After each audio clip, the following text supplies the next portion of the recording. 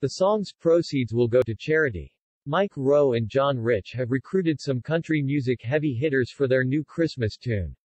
Rowe, known for hosting Dirty Jobs, and Rich, of Big Rich fame, teamed up under the moniker Rich Rowe to release Santa's Got a Dirty Job on Monday with some help from the Oak Ridge Boys. Mike and John were talking and decided, you know, Santa Claus has a really dirty job when you think about it. Reads the description of the duo's music video on YouTube. The addition of the Oak Ridge Boys was the cherry on top, and all proceeds of the song will be given to Folds of Honor, and the Mike Rowe Works Foundation. They concluded, We think Santa's Got a Dirty Job could be a new classic for every Christmas to come. Give it a view, sit back and smile. The silly track highlights the nitty-gritty bits of Santa Claus' job, which includes reindeer kicking buttock in his face.